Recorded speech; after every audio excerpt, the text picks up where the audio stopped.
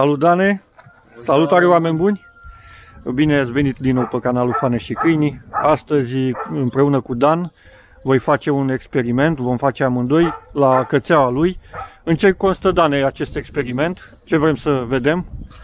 Fane, vrem, vrem să vedem reacția cățelei când eu, dacă mă mai recunoaște. Când te camuflezi, practic te, îți pui o mască, te maschezi, te-ai îmbrăcat și altfel, nu te-a văzut în Da. uh, costumația asta azi. Și vrem Și- să vedem reacția. Și chiar- cum chiar ai sunt- spus și tu, o luăm pe etape, să vedem de la ce moment ne recunoaște. Exact, deci tu vei apărea uh, de după casă, Da. te vei duce spre cușca ei cu masca pusă. Da. Nu vei face niciun gest, vedem, latre, nu latre, te recunoaște, nu te recunoaște.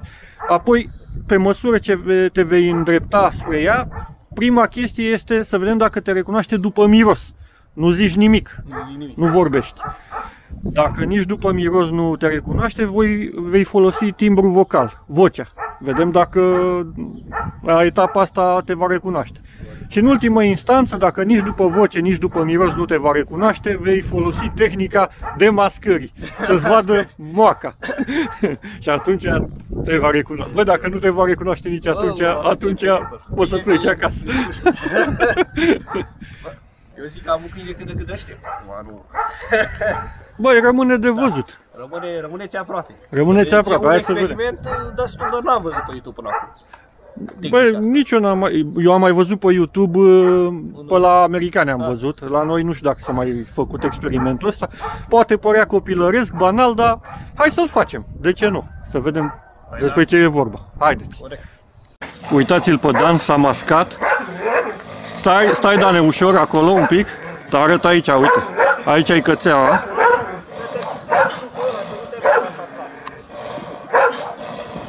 Arăta cățeaua și acum Dan o să vadă dacă îl recunoaște. Haide Dan, poți să te duci.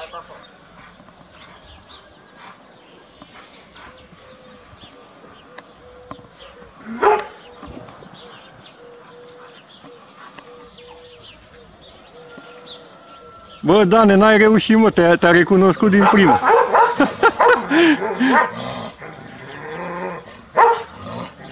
A văzut, mă, că ești tu. Ce să mai...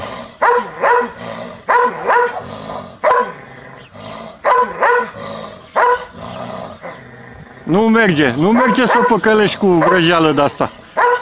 E prea deșteaptă.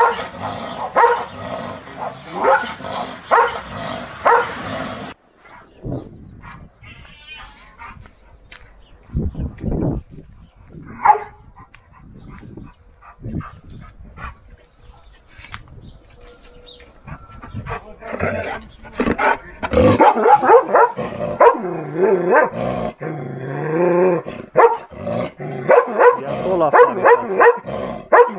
Îl vede pe privire.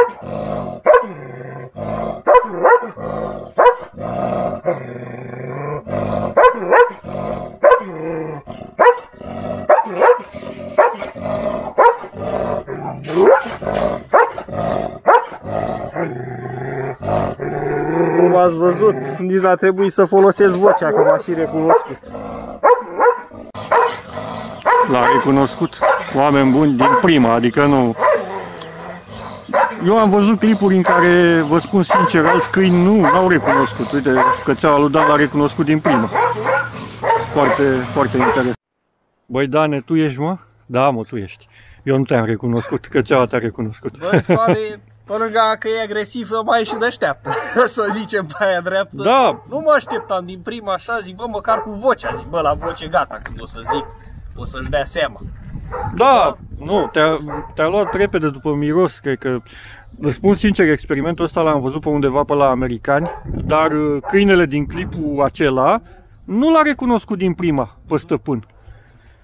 Cei drept uh, era într-adevăr o vestimentație mai, mai complicată, își pusese o haină de blană, Nu mi-a da? schimbat Ce, că și- În Da, orice oricum, caz, da. câteodată prinde, câteodată nu prinde treaba asta, uite, probabil la a ta n-a prins.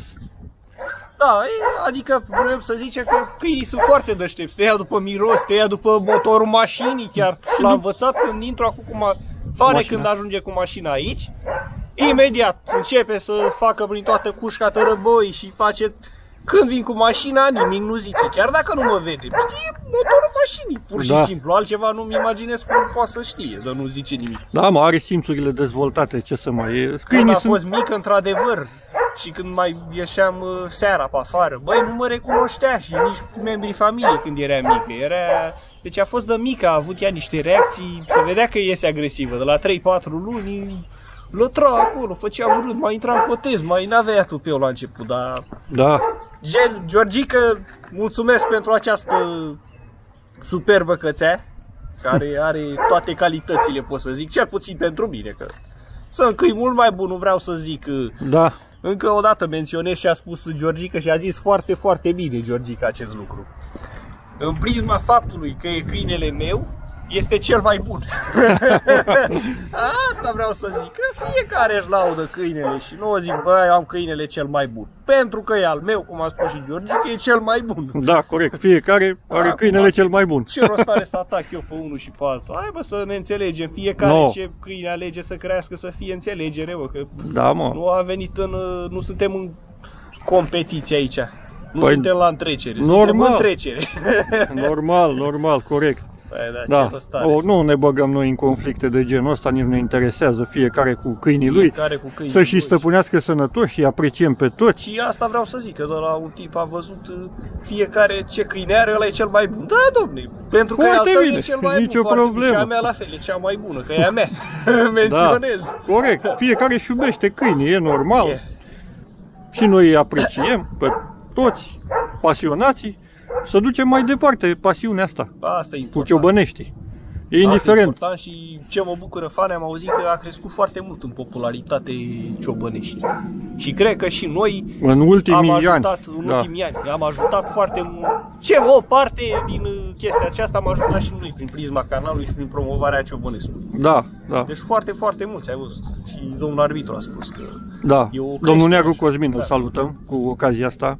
În, uh, Un om deosebit. L-am văzut că a spus la Branc, e o creștere în rândul crescătorilor, în rândul pasionaților de Da. ciobănesc. E un lucru bun, e un lucru care ne dă curaj să mergem mai departe și e un câine frumos, v-am spus, adică era cam imposibil să nu crească Da, Având în Ciobănescu vedere cât de- e deosebit. cât de deosebit este. ca Toate și rasele caracter. de ciobănesc îmi plac, sincer Da, să fiu. nu avem, că am auzit, cum ai spus și tu, ai primit niște Băi, fane, că ce promovezi ciobănesc cu românesc. Nu promovim, domnilor, niciun ciobănesc românesc. Kangal, ai văzut? Promovăm toți ciobăneștii, nouă ne plac și Da. Kangali, și Asia Centrală, și Caucazianul. Nu Ție, da, ne plac, ai o, Corbi. îți Da. plac corbii, că ai corb, promovăm. dar ne plac toți ciobăneștii. Și Bucovina îmi place foarte mult. Și Bucovineanu. Nu numai corbul. Carpatinul și când găsim cât un carpatin și cât un Uite, mioritic. mioriticul din păcate e mai, mai rar, mai ales în zona noastră din Ialomița Da. e mai rar, pentru că sunt călduri aici, e foarte greu să ții mioritic. Dar filmam cu mare plăcere și mioritic dacă întâlneam ceva frumos. Orice rasă e binevenită de ciobănesc pentru că iubim și nu promovăm uh, numai românesc. Da, noi cam asta e, suntem cu câinii, ciobănești. Nu pitbull, nu amstaff, nu Da, ne interesează nu. rasele alea.